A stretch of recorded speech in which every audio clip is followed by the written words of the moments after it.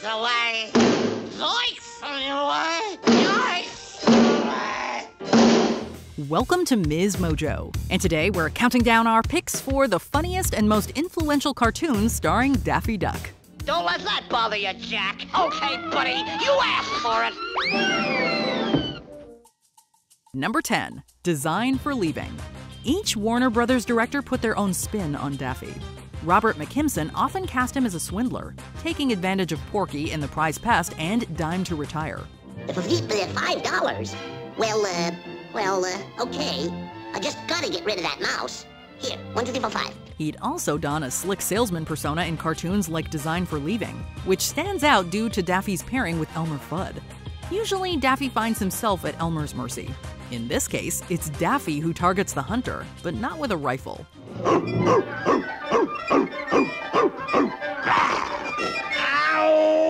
From the second Elmer opens his door, Daffy bombards him with rapid fire salesmanship, not taking no for an answer. Adorning Elmer's house with chaotic gadgets, the short finds Daffy at his most relentless, but also his most charismatic, with Mel Blanc giving one of his most dynamic performances as the character. Say, that's a good question. What do you say we find out? Number 9. Baby Bottleneck. Of all the Termite Terrace directors, Bob Clampett might have had the looniest eye for comedy. With Daffy arguably being the looniest Looney Tune, he was a natural fit for Clampett. Baby Bottleneck would go down as one of Clampett's most unhinged Daffy cartoons.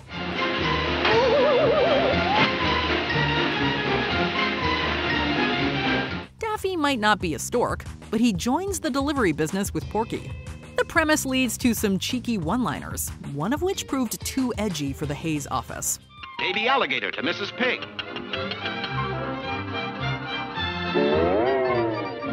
It's in the visual humor where the cartoon shines the most, unleashing a literal assembly line of gags.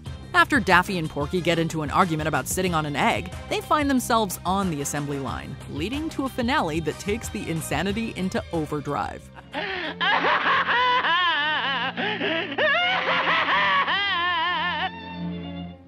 Number 8. Drip Along Daffy. In their earlier pairings, Daffy was usually billed as Porky's sidekick. By the time Drip Along Daffy came along, the duck had firmly asserted himself as the star. The cartoon's opening title card spells this out for us. And her name is Minerva. Ouch!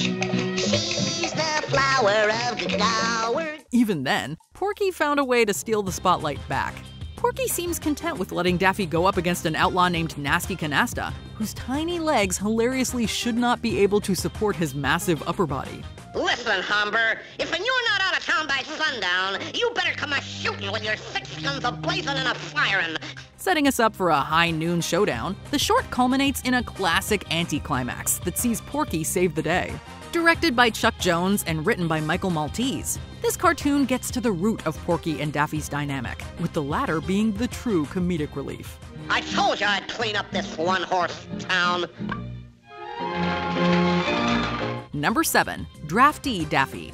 For a while, Daffy was a source of anarchy with little to lose. While still maintaining his eccentric persona, Draftee Daffy tapped into what would become a defining character trait the need for self preservation. I guess he's gone now. Oh, you know, I wouldn't say that. With World War II ongoing, Daffy is all about patriotism until the little man from the draft board no, seriously, that's his name comes knocking. Howdy doody, son.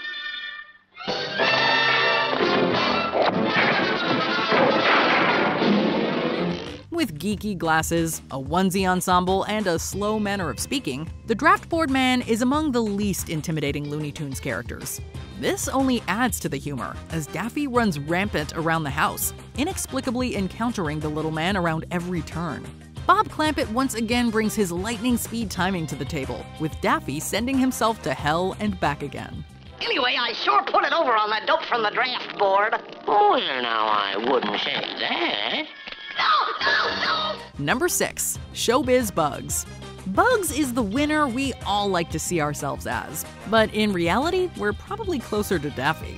Few shorts better exemplify their rivalry than Showbiz Bugs, directed by Friz Freleng with a story from Warren Foster. Try not to trip me up with those big feet, please. I'll try, Daffy. We're on! Challenging the rabbit for top billing, Daffy receives nothing but crickets while Bugs absorbs the applause. Getting himself cut in half and blowing off his beak in pursuit of attention, this is Daffy at his greediest and most self destructive. Yet a part of us still wants to see him come out on top. Swallow the match. So. He does, but at a price that serves as both a victory and a loss. The ending delivers a perfect punchline that needs no encore, even if Daffy could give one. They want more! I know, I know, but I can only do it once. Number 5. The Scarlet Pumpernickel. No Looney Tune demands to be taken seriously more than Daffy. What better way to present himself in a dignified light than by casting himself as a swashbuckling hero in an epic? Daffy presents his skyscraper sized script to Jack Warner, or JL as he casually calls him. That night, my Lord Chamberlain receives the noble visitor. Milady the fair Melissa is indisposed, my lord? Side note Daffy's middle name is Dumas. While Daffy takes center stage, he casts his fellow Looney Tunes in supporting roles. This results in several rare pairings. It's among the few times we see Daffy with Sylvester, and one of Melissa Duck's only appearances. Parting is such sweet stuff. But you will be safe here, my beloved. It also allows these characters to play against type, with Porky as a villain and Daffy sporting multiple masks. It's a standard seven minutes, but we totally watch the feature length version Daffy pitches. Coming, Melissa!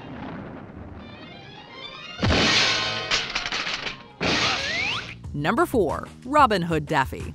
Daffy goes from playing the Scarlet Pumpernickel to channeling Errol Flynn again in Robin Hood Daffy. Just because Daffy wears the green outfit doesn't automatically make him the king of the outlaws. He needs to convince Friar Porky, as well as the audience. Ho, ha, ha, guard, turn, parry, dodge, spin! To prove himself, Daffy engages in all of the typical Robin Hood activities, continually missing his mark. The funniest bit finds Daffy swinging from tree to tree.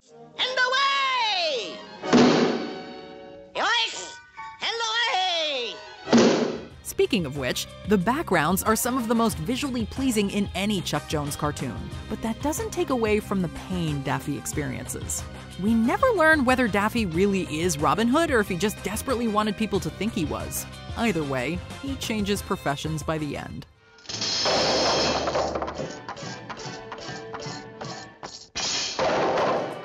Number 3. Duck Dodgers in the 24th and a half century. Duck Dodgers may be Daffy's most famous alter ego, headlining this Buck Rogers send up. Aesthetically, Duck Dodgers is one of Chuck Jones' most ambitious shorts.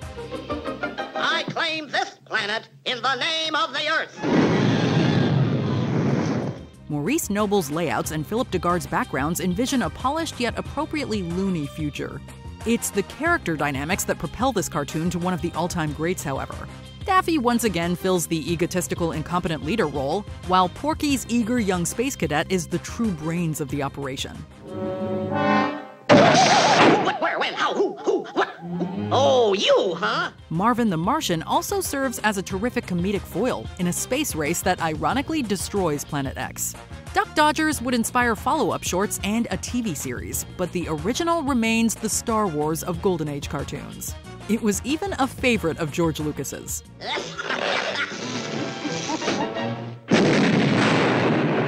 Number 2. The Great Piggy Bank Robbery. Before there was Duck Dodgers, there was Duck Tracy, a parody of Dick Tracy. The Great Piggy Bank Robbery demonstrates Bob Clampett's tendency to go the extra mile. I shall ring the bell from here. Was that trip really necessary? When Daffy receives a comic book in the mail, the cartoon could have just jumped to him opening the first page. Instead, he excitedly zooms across a sunlit hill before diving in.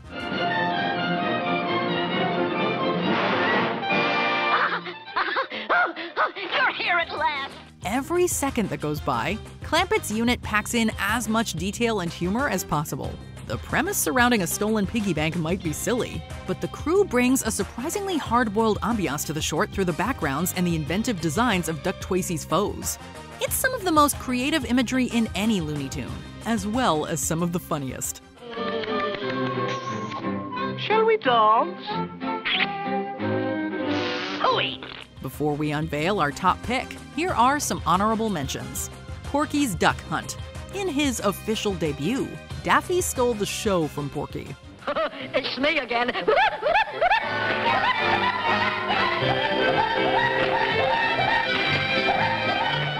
The Daffy Doc. Daffy doesn't get daffier than this.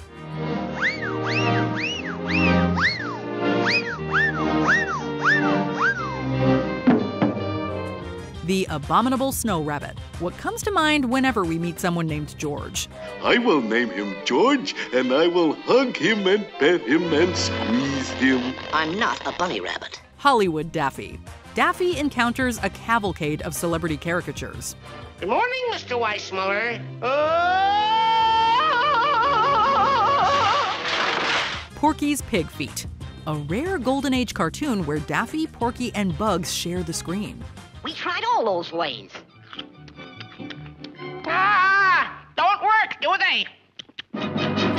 Before we continue, be sure to subscribe to our channel and ring the bell to get notified about our latest videos. You have the option to be notified for occasional videos or all of them. If you're on your phone, make sure you go into your settings and switch on notifications. Number 1. Duck Amuck. Duck Amuck isn't just the best Daffy cartoon, it's a shimmering example of what animation can do, which is everything. In under seven minutes, Daffy becomes a musketeer, a farmer, and whatever this is. Oh, I feel all right, and yet I, I, uh... Hey! You know better than that! He finds himself at the mercy of a mysterious animator who can't seem to settle on a background or scenario. While the Looney Tunes regularly broke the fourth wall, this cartoon broke down barriers in ways the audience never experienced before.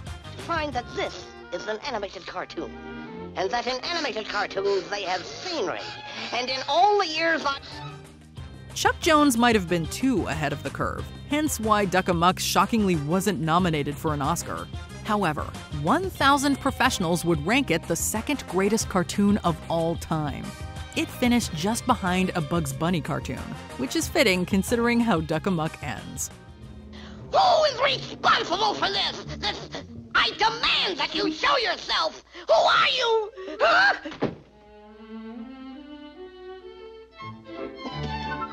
Am I a stinker? What's your favorite Daffy cartoon? Let us know in the comments. Oh, no, you don't. Sorry.